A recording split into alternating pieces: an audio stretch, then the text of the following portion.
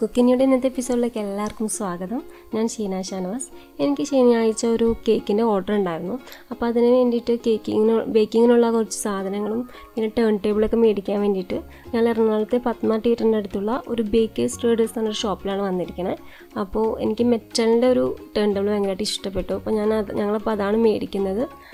പിന്നെ ഇവിടെ ബേക്കിങ്ങിനുള്ള എല്ലാ സാധനങ്ങളും ഉണ്ട് കേട്ടോ നോസിലും പിന്നെ ബേക്കിംഗ് പൗഡറും മൈദ അങ്ങനെ എല്ലാ സാധനങ്ങളും അവൈലബിൾ ആണ്. പിന്നെ ഒരു പ്ലാസ്റ്റിക്കിന്റെ ഒരു ടേൺ ടേബിൾ കണ്ടായിരുന്നു. പക്ഷെ കുറച്ച് വളഞ്ഞിരിക്കുന്ന പോലെ തോന്നി.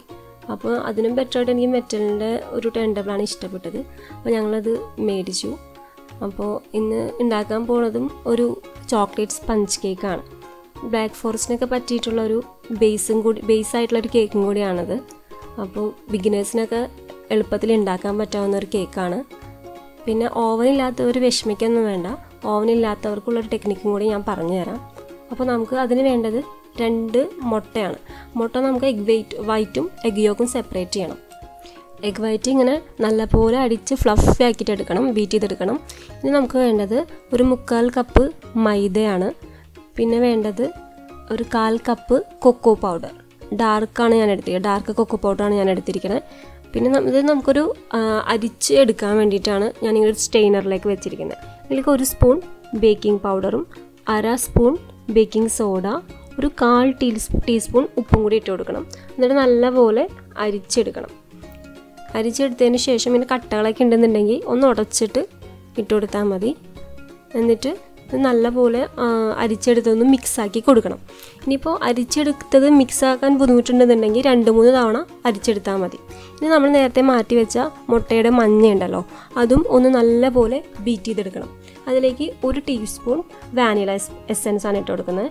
മുട്ടയുടെ മണമൊക്കെ മാറാൻ വേണ്ടിയിട്ടാണ് വാനില എസെൻസ് ആഡ് ചെയ്യുന്നത്. അതിലേക്ക് ഒരു കപ്പ് ഷുഗർ കുറച്ച് കുറച്ചായിട്ട് ആഡ് ചെയ്തെടുക്കണം. എന്നിട്ട് നല്ലപോലെ ബീറ്റ് ചെയ്തെടുക്കണം. കുറച്ച് കുറച്ചായിട്ട് ആഡ് ചെയ്തിട്ട് വേണം ബീറ്റ് ചെയ്ത് എടുക്കാൻ വേണ്ടിയിട്ട്. ഇനി അതിലേക്ക് ഞാൻ ഒരു അര കപ്പ് ഓയിലാണ് ആഡ് ചെയ്ത് കൊടുക്കുന്നത്. സൺഫ്ലവർ ഓയിലാണ് കേട്ടോ ആഡ് ചെയ്ത് കൊടുക്കണ്ടേ. കോക്കനട്ട് ഓയിലൊന്നും യൂസ് ചെയ്യാൻ പാടില്ല. നല്ലപോലെ അടിച്ചെടുത്തിട്ടുണ്ട്.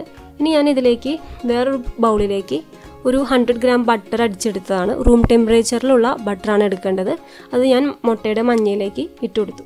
ഇനി നേരത്തെ അടിച്ചു വെച്ച മുട്ടയുടെ വെള്ളമുണ്ടല്ലോ അത് മുട്ടയുടെ മഞ്ഞയിലേക്ക് ഇട്ടിട്ട് കുറച്ച് കുറച്ച് നേരത്തെ അരിച്ചെടുത്ത ഡ്രൈ ഇൻഗ്രീഡിയൻസ് ആഡ് ചെയ്തിട്ട് നല്ലപോലെ ഒരു സ്പാച്ചുല വെച്ചിട്ട് ഇളക്കിയെടുക്കാം. ഇനി സ്പാച്ചുല ഇല്ലാത്തൊരു സ്പൂൺ വെച്ചിട്ട് ഇളക്കിയെടുത്താൽ മതി. അധികം ഇളക്കി മറിക്കരുത്. കുറച്ചൊന്ന് ഇളക്കിയെടുക്കണം. പൊടി ആഡ് ചെയ്യുമ്പോൾ കുറച്ച് കുറച്ചായിട്ട് ആഡ് ചെയ്താൽ മതി കേട്ടോ ഞാനൊരു കേക്കിന്റെ മോൾഡിലേക്ക് ഓയിൽ തേച്ചിട്ട് അതിലേക്ക് കുറച്ച് മൈദ വിതറിയിട്ടുണ്ട്. ബാക്കി വന്ന മൈദ നമ്മൾ തട്ടിക്കളയണം. എന്നിട്ട് ഒരു ബട്ടർ പേപ്പർ വെച്ചിട്ട് അതിലേക്ക് കേക്കിന്റെ ബാറ്റർ ഇട്ട് കൊടുത്തു. ഓവനിൽ വൺ എയ്റ്റി ഡിഗ്രിയിൽ പത്ത് മിനിറ്റ് പ്രീ ഹീറ്റ് ചെയ്തിട്ടുണ്ട്. എന്നിട്ട് തേർട്ടി മിനിറ്റ് വൺ എയ്റ്റി ഡിഗ്രിയിൽ നമുക്ക് ഇത് ബേക്ക് ചെയ്തെടുക്കണം. ഓവൻ ഇല്ലാത്തവർ ഒരു നോൺ സ്റ്റിക്കിന്റെ പാത്രം നല്ലപോലെ ചൂടാക്കി എടുത്തിട്ട് കേക്കിന്റെ ടീൻ അതിലേക്ക് ഇറക്കി വെക്കണം. എന്നിട്ട് ഒരു മുപ്പത് മിനിറ്റ് അടച്ച് വെച്ച് വേവിച്ചെടുക്കണം. നമ്മുടെ കേക്ക് ഇവിടെ റെഡി ആയിട്ടുണ്ട്. അടുത്ത എപ്പിസോഡിൽ കാണാറ് എല്ലാവർക്കും ബൈ ബൈ